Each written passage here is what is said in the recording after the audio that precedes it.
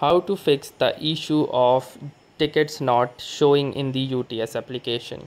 So hey guys, if you are also facing this issue that you have booked a ticket and the tickets are not synced or are not being shown in your UTS account, then let me show you a quick fix for this particular problem.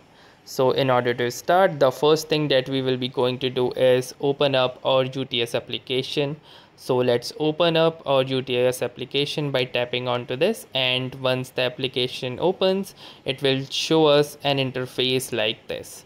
Now in this interface you need to make sure you are under the journey ticket and under which you will see this profile button.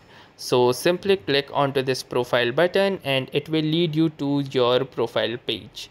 Now one of the problems that this issues arises is because the tickets are not synced with your account and maybe across different devices and server. So what you can do is simply click onto this sync ticket button over the top right corner. And once you will do this it might take a moments or few seconds and you will get this message that said tickets synced successfully.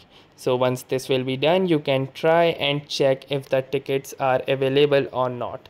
So you can check the tickets by simply clicking onto this show ticket button and currently it says no transaction found as I have never done any transaction on the UTS application.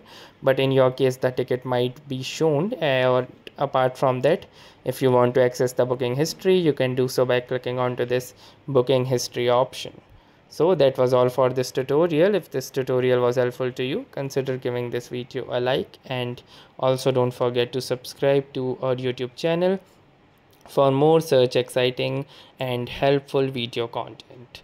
Thanks for watching and have a nice day